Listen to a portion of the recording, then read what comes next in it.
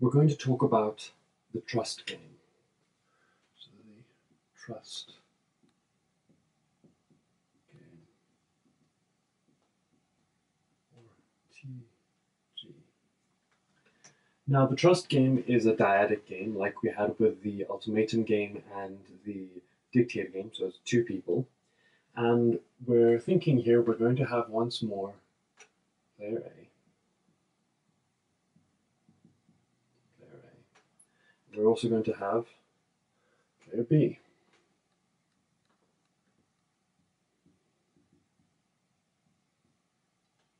Now, how this works is that player A is given some endowment Y, and then with that endowment Y, they can send some amount to um, player B. So A can send some amount to player B. So, for example, if they started off with $10, they could then send $5 to player B. But crucially now, um, B typically receives um, M times S, where M is a multiplier. Typically, we assume that M is equal to 3. So for example, if I started off with $10 and I sent $5 to player B, then player B would get $15. Player B then has the opportunity to send back some amount, a return, to player A, in which case um, A gets Y minus S plus R, and player B gets S minus R. So, for example, here, if A um, started off by having $10 for their Y, they then send 5 to player B, um, the 5 gets tripled because the m is 3. Um, and B gets um, $15. Then B could choose to send $5 back to A, in which case A starts off with the $10. So 10 minus 5 plus 5 equal to $10. And B then keeps 15 minus what they sent, the R, as $10. So in that case, A um, sent some money to B, and then A and B both ended up with $10. Alternatively, imagine that A sent the entire $10 to B. Um, now imagine that. So it sent, so Y equals 10, um, S is 10, and then what does that leave us with? Then 3 times the amount sent, that would be 30.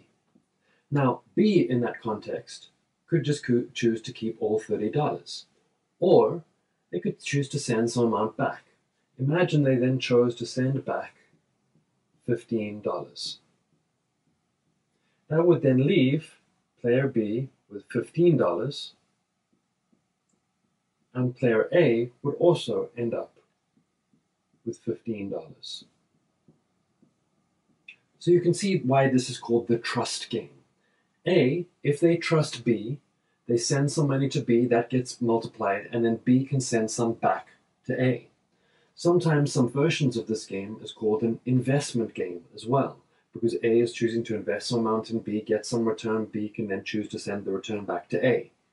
Now, depending on what structure of the game you have here, different people call the people in different positions different things.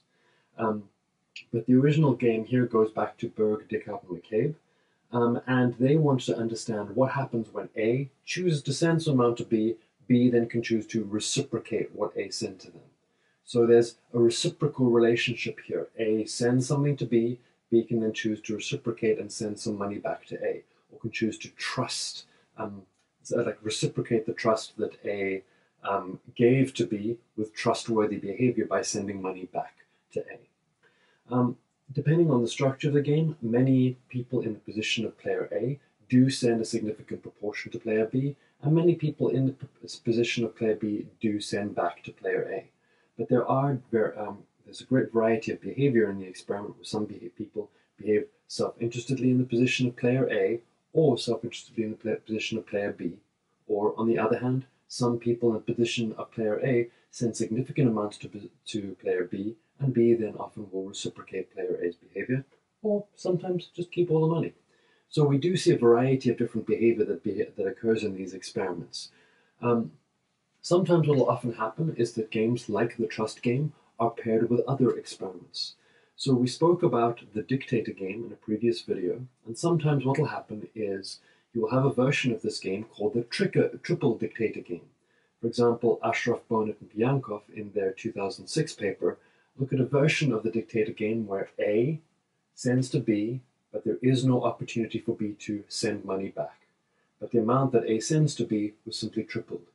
This allowed them to compare what would happen in the trust game versus the, the triple dictator game in the position of the person who was um, playing player A and what their expectations were of contrasting A and B's behavior.